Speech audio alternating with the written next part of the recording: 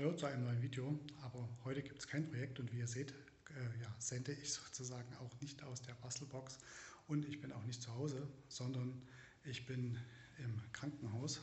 Da seht ihr mein heutiges Nachtlager und ähm, ja, der Grund dafür ist, ich hatte eine kleine Kollision mit der Kreissäge.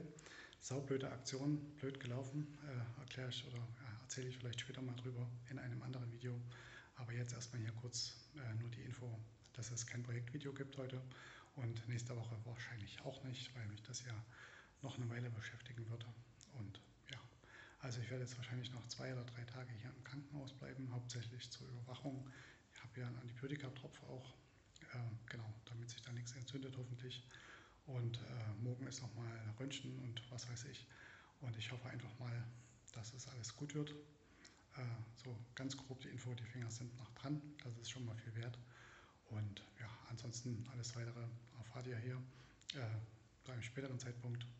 Und ich flüstere übrigens, weil es jetzt früh um fünf ist. Ich bin Mitternacht hier ins Krankenhaus reingekommen. Ich war halt sehr spät in der Werkstatt und ähm, ja, war dann Mitternacht hier und dann ein bisschen warten und hier und da. Und dann gab es drei Stunden oder zweieinhalb, drei Stunden eine kleine OP äh, wo alles wieder dahin gerückt wurde, wo es hingehört, so mehr oder weniger.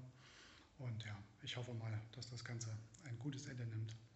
Ich äh, werde berichten und ähm, ja, spätestens nächsten Samstag 9.30 Uhr melde ich mich wieder in der einen oder anderen Form. Bis dahin bleibt ihr gesund, passt auf mit eurem Werkzeug und äh, wir sehen uns.